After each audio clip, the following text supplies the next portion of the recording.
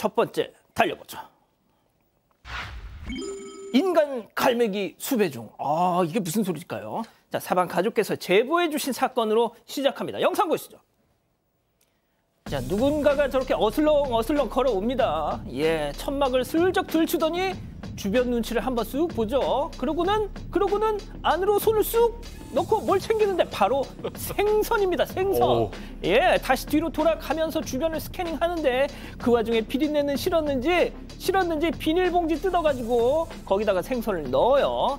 자, 저렇게 멀리 길 가는가 싶더니 싶더니 다시 백도 예 다시 백도합니다. 아쉬운 듯 아쉬운 듯 다시 돌아오더니 다시 천막 안으로 어, 쑥 손을 넣고 또 다시 생선을 챙겨서 이만 총총총총 예 제보자께서 어, 제목까지 정해서 보내주셨어요. 인간 갈매기라고 예. 별 도둑 저희가 다 소개해봤지만 생선 훔쳐가는 인간은 또 처음이야 또. 자, 그렇습니다. 이 생선 절도 사건이죠. 지난 1월 14일에 어, 인천 소래포구의 한 지금 어업 종사자들이 일하시는 곳에서 새벽 4시 50분경에 일어난 일입니다. 저기 보시면요. 저기가 그냥 일반 뭐 관광객들이나 이런 사람들이 다니는 데가 아니라 말씀하신 것처럼 저 지역의 주민들 아니면 어업 종사자들이 이용하는 곳인데 저기에 제보자분이 민어를 36마리를 이렇게 넣고 약간 말리려고 명절 선물용으로 쓰려고 했던 겁니다. 근데 어. 36마리를 뒀는데 이게 그 다음날 저녁에 와서 보니까 아, 몇 마리가 비어 있는 겁니다. 그래서 CCTV를 돌려봤더니 저렇게 와서 하는 거 훔쳐가고 또 갔다가 다시 와서 또 훔쳐가고 해서 네 마리를 가져가는데 민어 굉장히 비쌉니다. 네 어. 마리에 12만 원어치입니다. 아이고야.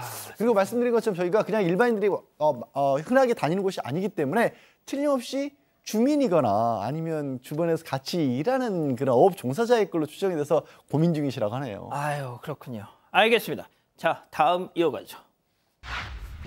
임영웅도 놀란 호박 고구마입니다.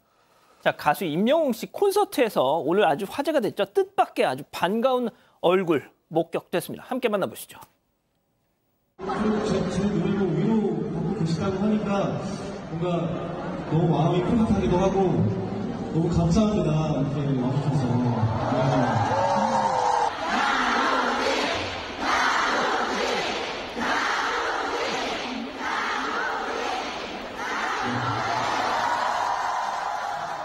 이야 나문희 선생 그리고 아, 지금 잘 안 나오는데 어 지금 여기 김영옥 선생도 나오시네요. 자 다 가수 임영웅 씨 팬이었군요. 네, 맞습니다. 지난 21일 경기 고양에서 그 임영웅 씨 콘서트가 있었는데 이 여기에서 팬의 사연을 직접 읽어주는 코너가 진행이 됐습니다. 그런데 한 팬이 본인을 일산 사는 82살 호박고구마입니다. 라고 소개를 했습니다. 그러면서 지난해 말에 남편을 떠나보내게 됐다. 사별한 뒤에 임영웅 씨 노래를 들으면서 깊은 위안과 또 위로를 받았다. 감사 인사를 전한다. 이런 사연을 전한 겁니다. 그런데 알고 보니 이 사연의 주인공이 바로 배우 나문희 선생님이었던 겁니다. 그리고 그 옆에는요. 배우 김용옥 선생님이 같이 참석해서 앉아 있었습니다. 아마 별명으로 소개한 그 호박고구마는요. 다들 아실 텐데 과거 시트콤 거침없이 하이킥 유행어에서 따온 것으로 보이죠. 이 배우 나문희 선생님은 일하러 지방에 내려갔다가 그 남편이 보고 싶어서 전화를 걸었는데 넘어져서 이마를 다쳤다고 하더라. 이후에 남편이 입원을 했는데 결국 회복을 못하고 먼저 하늘나라로 갔다라고 사연을 전했습니다.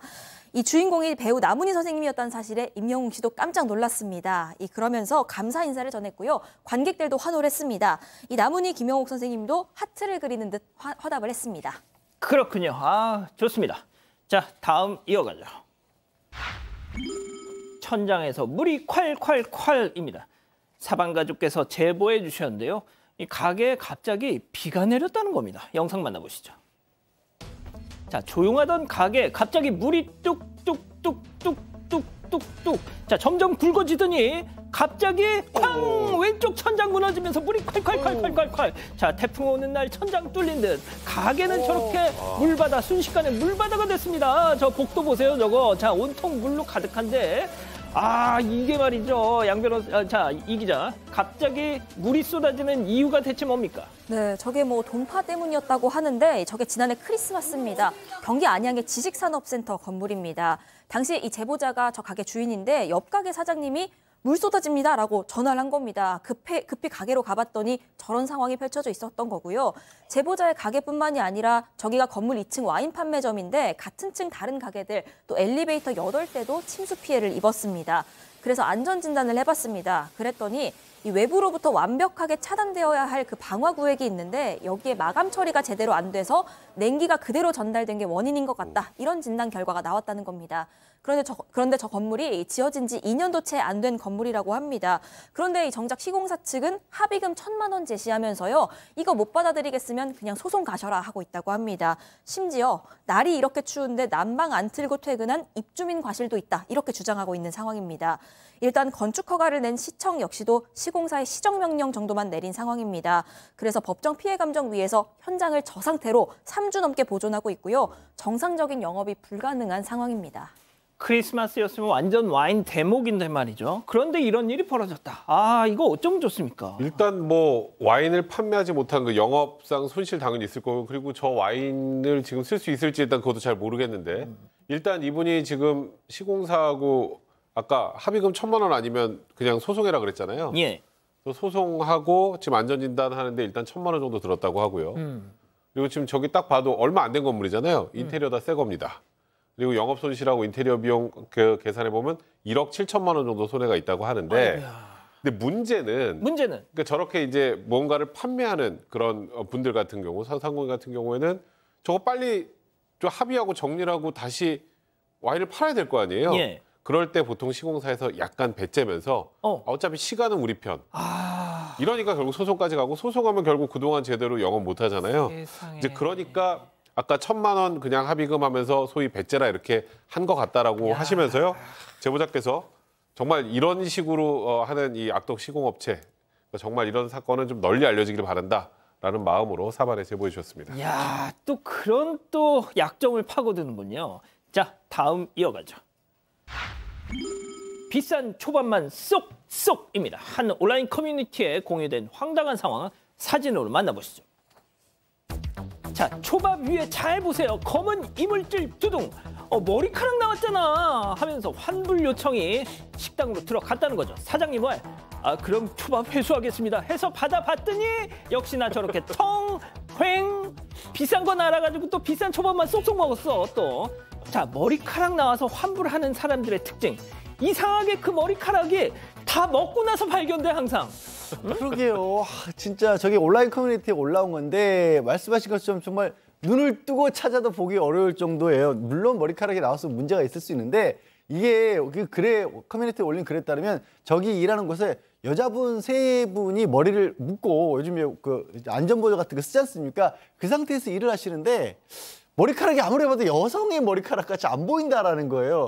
그럼 도대체 저 머리카락은 어디서 온 거냐? 그리고 화물 요청을 하라고 지금 사진이 보셔서 아시겠지만 초밥이 26개가 들어가 있었는데 비싼 거는 다 먹고 저렴한 거 7개를 또 남겼답니다. 야, 근데 오른쪽이 이제 원래 초밥인 거고 왼쪽을 보셔도 야 저걸 드시고 나서 먹고 난 뒤에 환불을 해달라고 그래서 이분 이제 환불 어렵다라고 안내를 했다라고 하는데 그럼 또 별점 테러 당할까봐 예. 참 요즘 경기도 어려운데 정말 힘들다라고 그렇게 글을 올렸습니다. 예.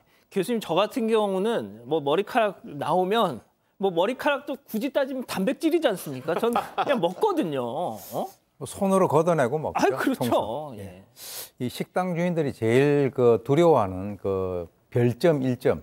사실은 이제 그것이 어떻게 보면 아주 취약한 그런 부분이라고 하는 것을 잘 알고 있죠. 그러면 어, 어떻게 그 비싼 것만 다 골라 먹었는데 싼거그 위에서 나왔을까? 이것이 정말 불가사의인데요. 어, 어떻게 보면 진짜 열심히 살아보려고 하는 그런 그 이 식당 주인분들이 참 이렇게 고통 속에서 지금 그 장사를 하고 있는 것 같습니다. 그래서 어, 저게 과연 저 사람이 얘기하는 그 머리카락이 있어서 반납을 한 것이다라고 믿고 싶긴 하지만 만약에 그렇지 않다라고 하면 순간적으로 자기가 머리를 써서 자기에게 이익을 갖다가 취한다라고 이렇게 생각을 할 수는 있지만 결국 살다 보면 이런 행동을 계속 하게 되면 그 대가를 갖다가 받을 수도 있다라고 하는 그 사실을 명심을 하셔야 될 것 같습니다. 그러니까요. 하여튼 이상하게 그 머리카락은 꼭 다 먹을 때쯤 발견된단 말이죠. 자 다음 이어갑니다. 승리의 정신 승리입니다. 자 캄보디아의 한 행사장에서 그룹 빅뱅 출신의 승리 씨 목격됐다는 겁니다. 만나보시죠.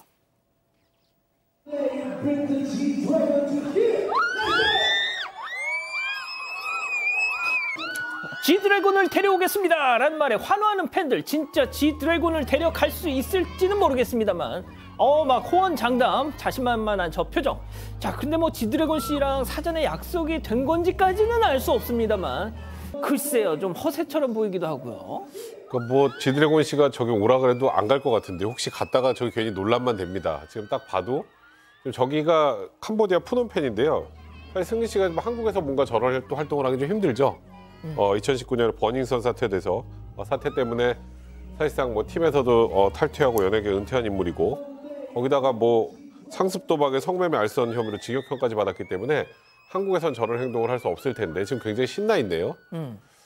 저런 모습이 나오는 것만으로도 사실 굉장히 대중들로부터 어, 좋지 않은 얘기를 들을 만한 그런 판국에 여기서 지드래곤을 데리고 오겠다.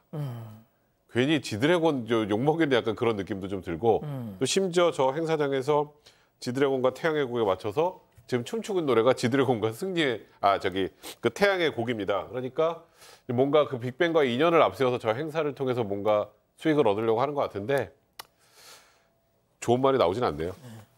자 베스트 댓글에 교수님 그런 게 있더라고요 어, 승리 씨 이름을 정신 승리로 바꿔요 뭐라고 말이죠 사실 뭐 지 드래곤을 데리고 오든 뭐 안 데리고 오든 저는 개인적으로 별로 궁금하지도 않지만 어, 승리라고 하는 저분도 어차피 뭐 경제 활동을 해야 되니까 외국에서 활동 무대를 바꿔 가지고 활동을 하고 있는 것은 사실인 것 같습니다. 그런데 누가 저 영상을 올렸는지는 모르지만 좌우간 저런 모습들을 보고 일반 그 국민들이 썩 그렇게 그 달가워하지 않는 그런 것은 본인이 어차피 그간에 했던 여러 가지 어떤 행간이 있어서 그런 것이니까 글쎄요 좀 이렇게 좋아 보이지는 않는다라고 하는 것이 일반적인 여론입니다. 그렇군요. 알겠습니다. 자 마지막 사연으로 가보죠. 비밀 연애 고집하는 남자친구입니다. 자 사방 가족께서 집단 지성의 판단을 받아보고 싶으시답니다. 네, 이 비밀 연애만 고집하는 남자친구를 계속 만나야 할지 고민이다. 이런 40대 여성의 사연입니다. 남자친구는 50대고요. 만난 지 1년이 좀 넘었습니다. 그리고 둘 모두 돌싱은 아닌 상태입니다. 굉장히 좀 오래 알고 지내던 사이였는데 이 남자친구가 성실하고 정직하기도 했고요. 사연자한테 굉장히 자상하게 잘하고 또 요리도 해주는 모습에 급격히 가까워졌다고 합니다. 그러면서 사귀게 된 동시에 거의 동시에 동거까지 시작을 했습니다. 그런데 문제는 남친이 이 둘의 관계를 아주 철저히 비밀에 붙인다는 겁니다. 심지어 가족들도 모릅니다. 이 가족들한테는요, 나 일 때문에 숙소에서 지내고 있다. 이렇게 거짓말을 하는 중이고요. 지인들한테도 들킬까봐 늘 노심초사한다고 합니다.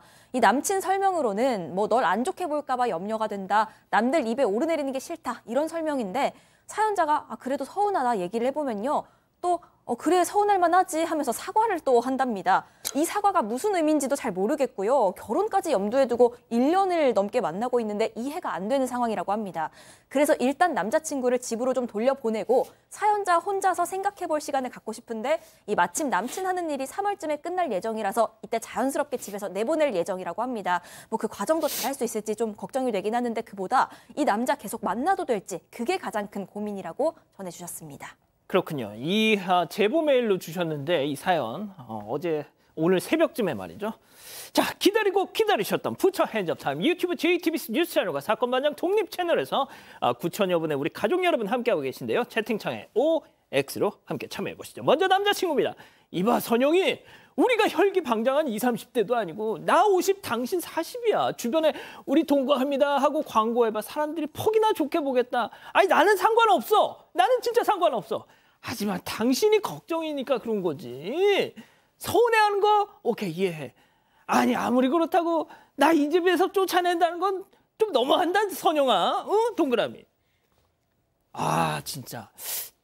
자 계속 들어보세요. 다음 사연자 여자친구입니다. 오빠 백성문 씨 우리가 무슨 고딩 엄빠니? 결혼을 하든 동거를 하든 그게 무슨 어 흉이야. 우리 나이엔 혼자 사는 게 더 흉이야 인간아. 그리고 맨날 나 위해주는 척 말하는데 나 하나도 고맙지 않거든. 나 자기 의심하게 돼. 이실직고에 너 뭐 감추는 거 있지? 다른 여자 있지? X. 아 양 변호사님. 아, 뭐 다른 여자 있지라고 단정하고 싶지는 않습니다. 다만 그냥 사람 마음이라는 게 어쨌든 주변에 감춘다라는 거 뭔가를 감추고 싶다는 걸로 자연스럽게 연결이 될 수밖에 없지 않습니까? 그래서 지금 마음 먹고 먹으신 대로 한 3월에 끝난다고 하니까 그때 돌려 보내놓고 예. 돌려 보낸 다음에 아마 좋게 생각하면 남자친구가 주변에 알리지 않은 상태에서 동거부터 시작했으니까 주변 사람들이 불편하게 볼 수도 있다라는 생각을 하실 수도 있거든요. 좀, 좀 소심하신 분이거나 생각이 많으신 분이면 그러면 일단 떨어져 지낸 상태에서 나 저 사람이랑 교제를 할 거야 라고 알리기 시작하는지 아닌지 한번 보시고 정하시는 게 어떨까 싶습니다. 자 교수님 어, 저는 일단 이제 이 그 제보자에게 좀 여쭤보고 싶은 게 있어요. 마음속으로 결혼까지 두고 있는 것은 본인의 생각인지 아니면 둘이가 확실하게 어떤 그 어, 의견을 갖다 맞췄는지 그게 하나 좀 의문이고요. 또 하나는 예, 지금 이제 나이가 40대, 50대라고 이렇게 하는데 저는 어디에 좀 주목을 하고 싶으냐면 남자분이 이 사연자의 집에 놀러 온 날 사귀게 되면서 그날부로 동시에 동거를 시작했다. 그래서 제가 봤을 때는 이 남성이 겉으로는 저렇게 얘기를 하고 있긴 있습니다만 이 진도가 너무 빨리 나간 그런 것에 대해서 이 여성에 대해서는 뭔가 이렇게 좀 자신이 없다. 즉 결혼이라고 하는 그런 것을 만약에 하게 된다면 4, 50대라고 하면 주위에 있는 사람들에게 얘기를 갖다가 할 수 있는 그런 입장인데 그래서 이 여성 혼자만 그렇게 생각을 하고 있는 것은 아닌지 혹시 남성은 어, 이 다른 사람들에게 저렇게 얘기 안 하고 있다가 나중에 헤어지려고 하는 그런 생각을 하고 있는 것은 아닌지 한번 좀 생각을 해 보실 필요가 있다. 그래서 이 만남을 계속 할 건지 안 할 건지를 좀 이렇게 객관적으로 한번 판단을 하시고 뭔가를 좀 추진해 나가는 것이 필요하다라고 봅니다. 자, 백 변호사님께는 제가 이렇게 여쭐게요. 네, 계속 만나는 게 좋을까요? 전 아닌 것 같아요. 어 진짜 일단 제보자가 아 우리 만나는 거 바깥엔 비밀로 해줘 이러면 괜찮아요. 근데 그게 아니잖아요. 제보자는 알리지 않고 내가 투명인간 되는 것 같아서 오히려 서운하다잖아요. 근데 이유는 제보자를 위해서 알리지 않는데요. 그건 좀 앞뒤가 안 맞죠 일단. 통상적으로 이렇게 대외적으로 뭔가를 감추는 건 이렇게 투명하지 않은 건 본인 스스로 뭔가를 감춰야 되는 게 있는 것 같고요. 그리고 보통 이렇게 어느 정도 어, 함께 동거를 하고 만나다 보면 오히려 내가 좋아하는 사람, 내가 사랑하는 사람은 주변에 알리고 싶은 게 오히려 인지상정입니다. 근데 꼭꼭 숨긴다? 음. 물론 제가 단언하진 않겠습니다만 이분 말고 뭔가 또 다른 비밀, 그러니까 다른 뭐 여성분이 있거나 할 가능성도 있고요. 어. 이렇게 숨겨야 할 이유가 분명히 있으니까 어. 저는 개인적으로 이렇게 투명하지 않은 상황에서는 계속 만나는 건 좀 아닌 것 같습니다. 그렇군요. 네, 가족 여러분들이 많은 추측하고 계십니다. 이초롱님, 뭔가 냄새가 난다. 강영님, 자식들 본처 있을 것 같습니다. 백자경님, 수배자 아닐까요? 하셨고요. 하레미님, 그 남자한테 직접 대놓고 물어보고 말을 하세요. 이불박풍경님, 저런 남자 만나봤는데요. 정말 뒤가 안 좋았습니다. 하는 의견 주셨습니다. 아 조금 신중하셨으면 좋겠네요. 고민 중개사가 왔습니다. wow! 가족 여러분의 고민 제가 공짜로 중개해 드립니다. 집단 지성의 힘을 모아 모아 고민 중개사 양원보